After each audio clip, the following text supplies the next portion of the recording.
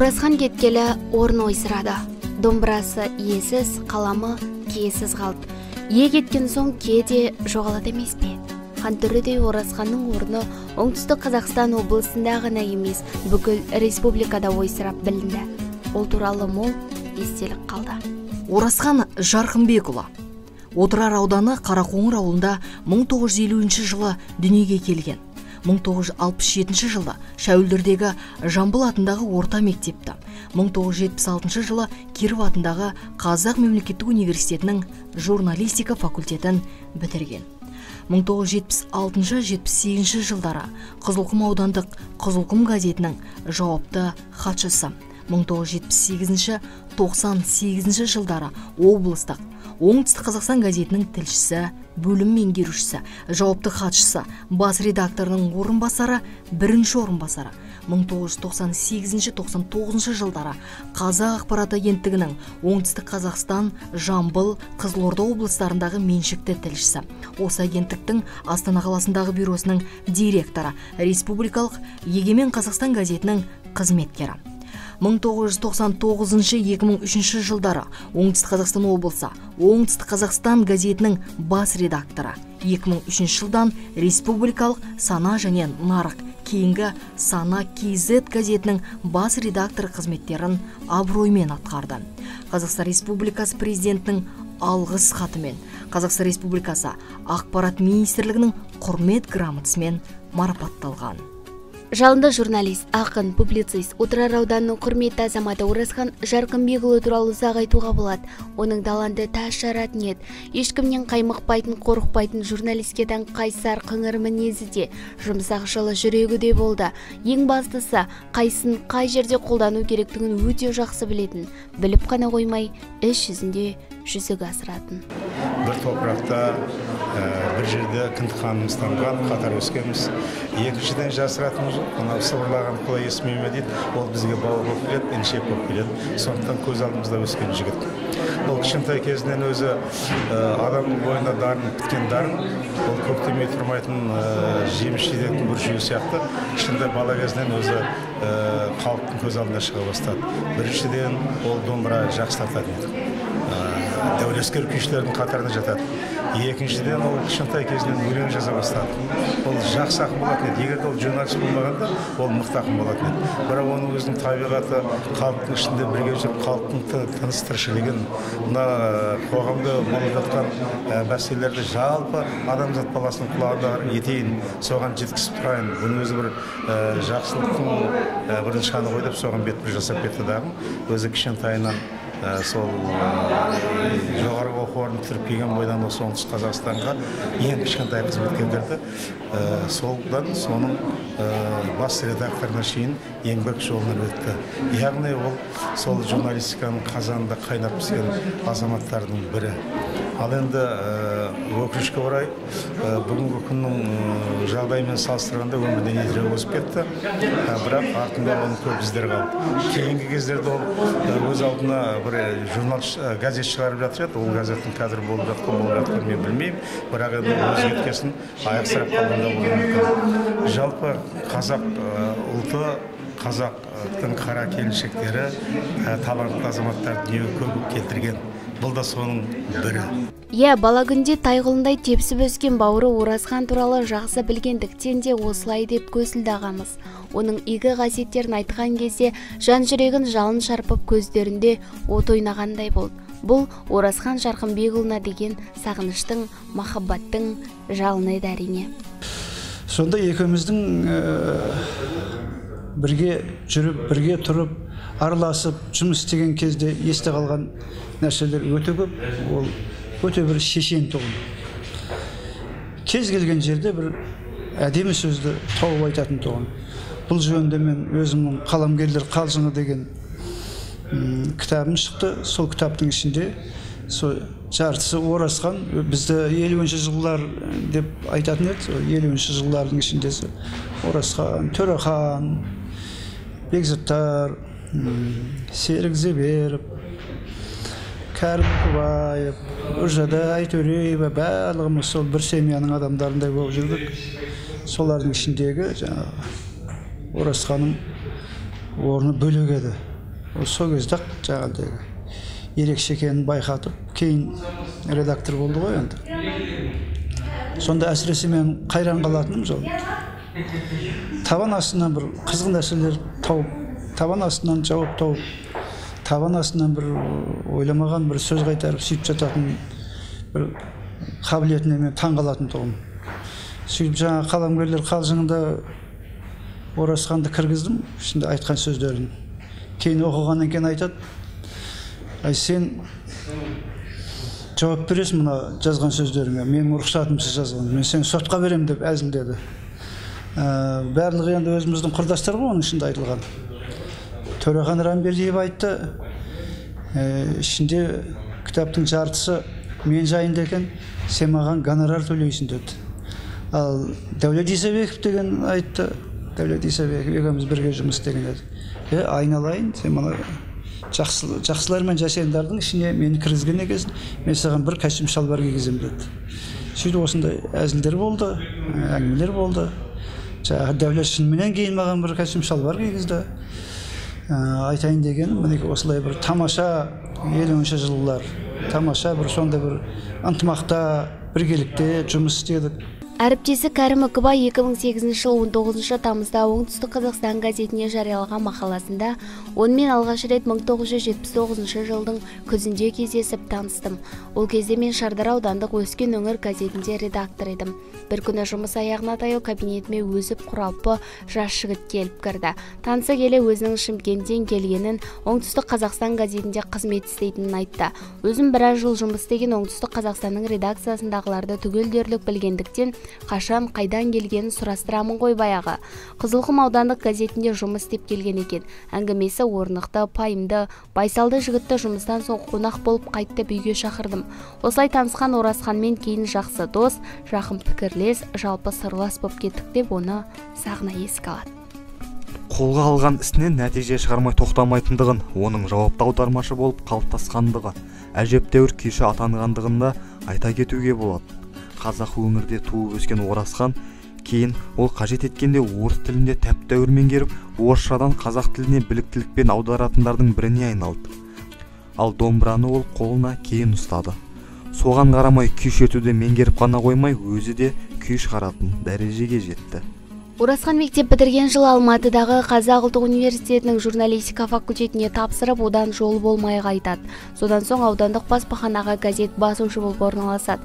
Қиыр шығыста әскери борышын өтеп келіп өзі армандаған қазақ мемлекеттік университетінің журналистика факультетіне ақыры оқуға түседі. Оны бітірген соң аудандық газеттегі қызмет облыстық баспадағы қатардағы тілшіліктен бас редакторға дейінгі ізденіске толы жолды жүріп өтті. Оның өмірі өнегеге толы еді.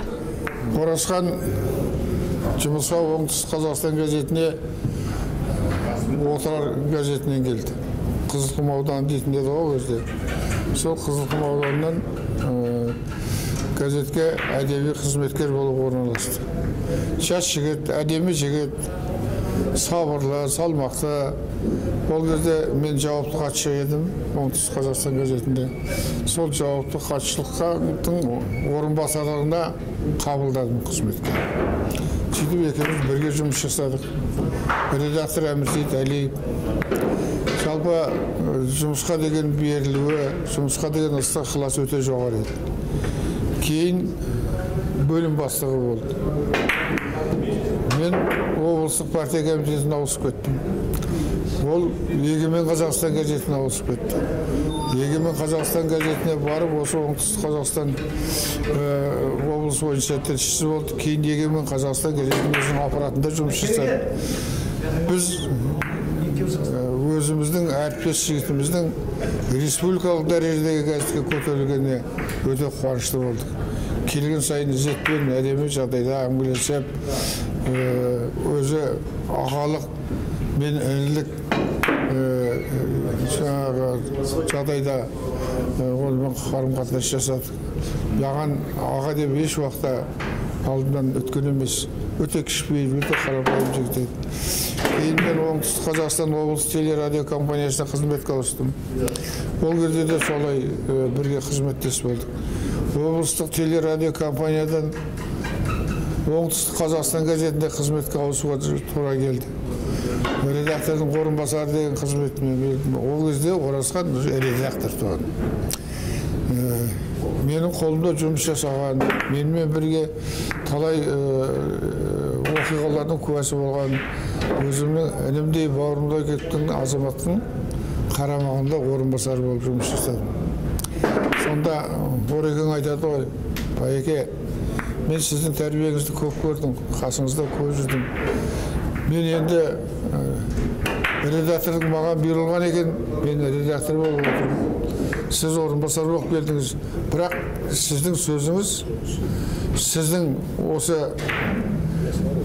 мекемеге осы ұжымға сіңірген еңбегіңіз әлдеқайда жоғары сіз айтқан мәселенің барлығы орынды болады деп есептеймін.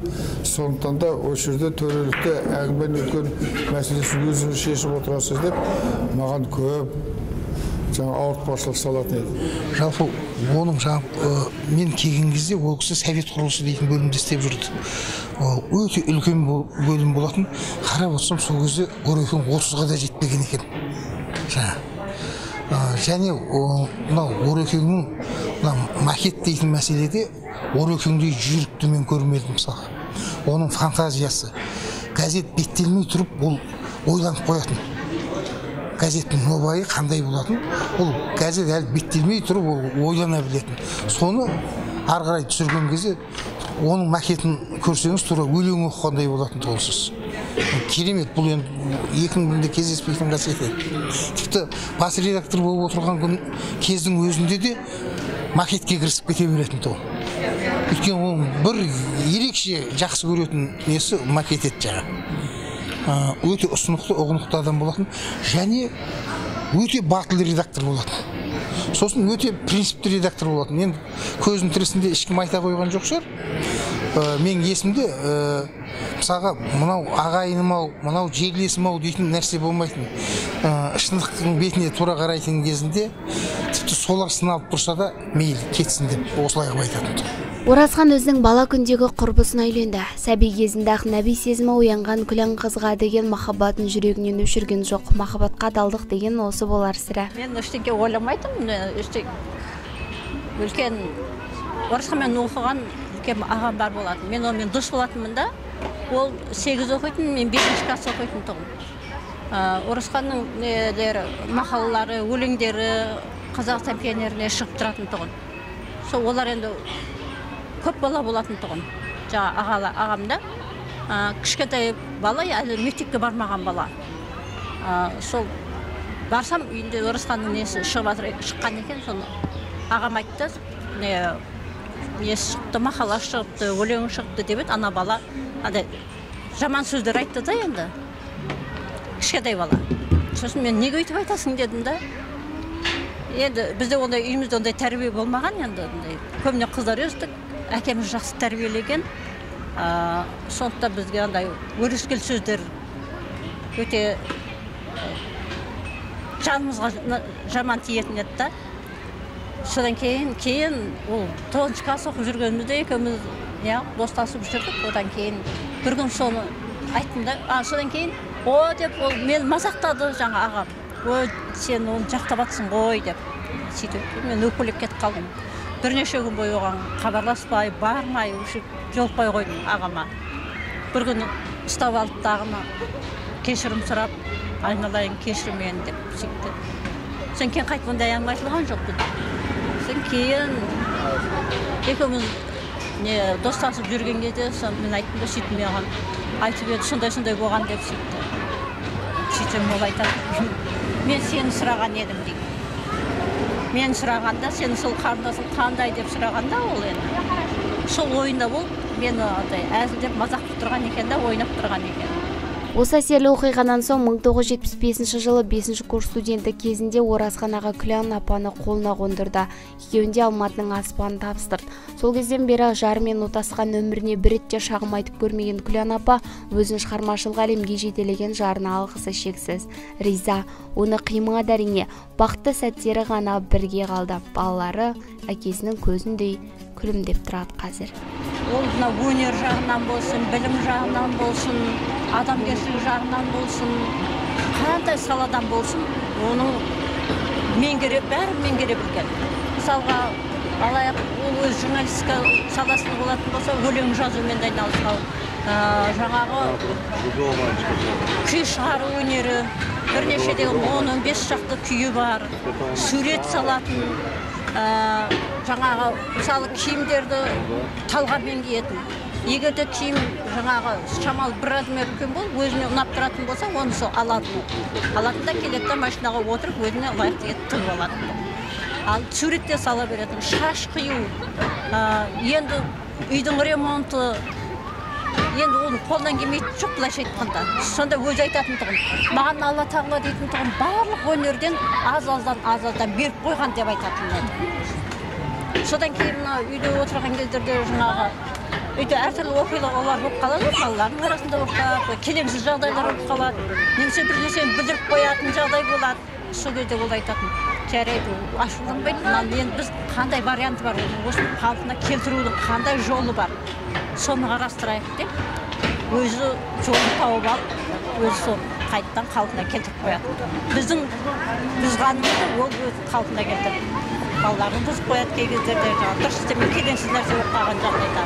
Сол өзі тауып алып өзі қалпына келтіріп бірақ біздің үйде бүлінген нәрсе жаңағы болмай қалған нәрсені ешқашан біз ол тақырыпқа қайталап келмейтінбіз былайша мынандай болғанда осындай болатын еді деп бір бірнеше рет қайталап жазады ғой біреулер.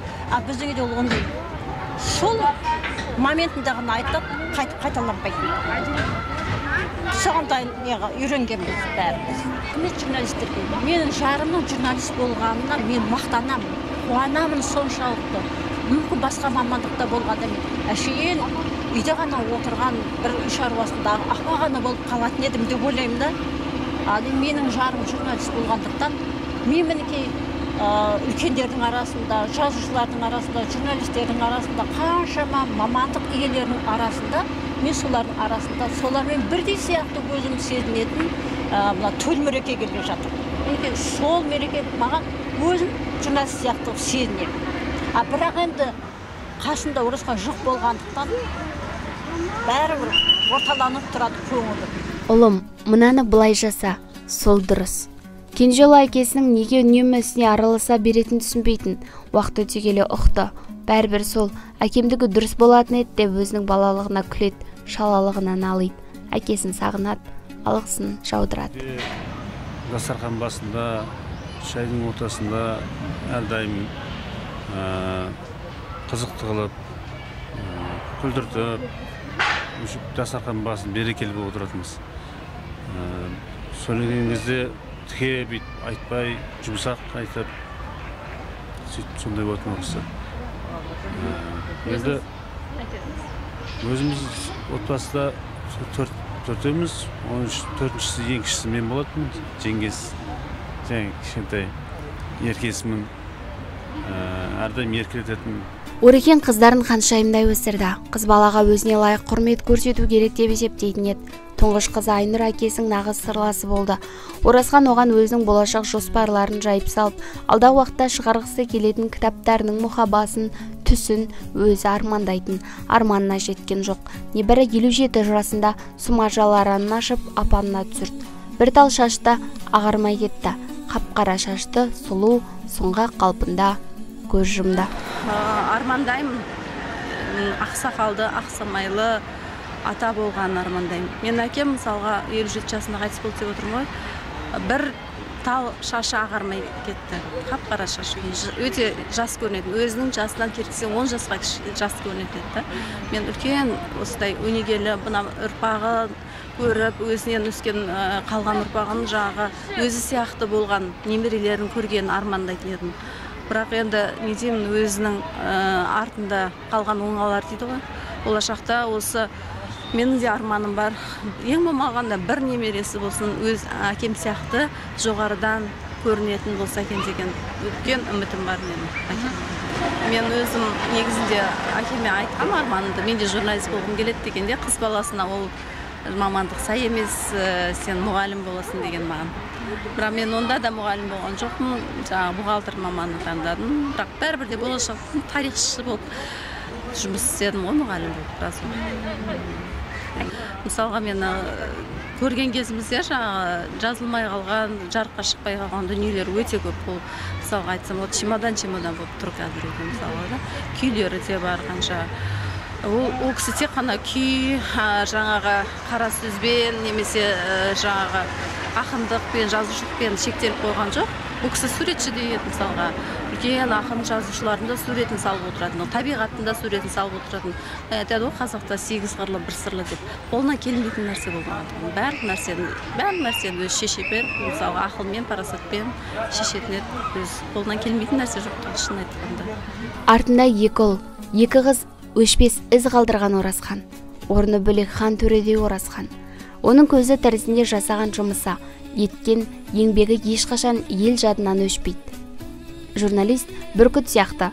Шөп шалаңның арасынан құмырсқаны байқап қоятын қырағы деп. Әзілхан үршайықов баға берген мамандықты абыроймен арқалап арқалағаны алтын жегені жантақ болған ағамыздың жайы жаннатта болып пейіште нұры шалқығай көзі тірісінде бұл фәнидегі көркем мінезі елге еткен жақсылығы ақыретте жәрдемшісі жебеушісі болсын деп тілейміз.